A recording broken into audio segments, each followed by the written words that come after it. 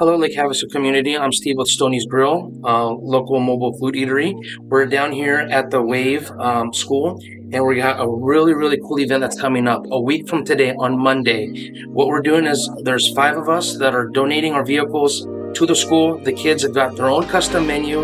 They're putting it together, and they're going to operate out of the truck. Whatever money that they make is going to go back into the program.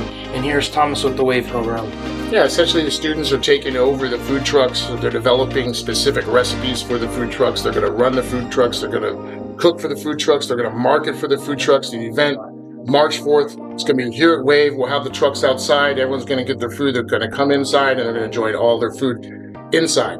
Uh, this is a tremendously uh, cool event for the, the students. They've never done anything like this before. We're really looking forward to it.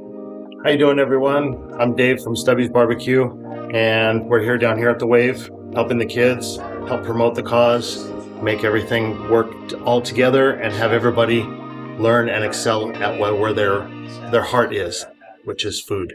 We'll be here on Monday, helping the kids out with a few other food truck family members. Join the club. Come on down and let's check us out. We're looking forward to seeing you. You guys stay blessed. Hey, what's up, everybody? Uh, my name's Josh. Is my wife, Nikki. Uh, we're owners of Pick Your Pusher Coffee Co. a sugar-free bus. Uh, we bring sugar-free coffee, sugar-free Red Bulls, sugar-free lemonade. Um, we're gonna be at the event, so come on by.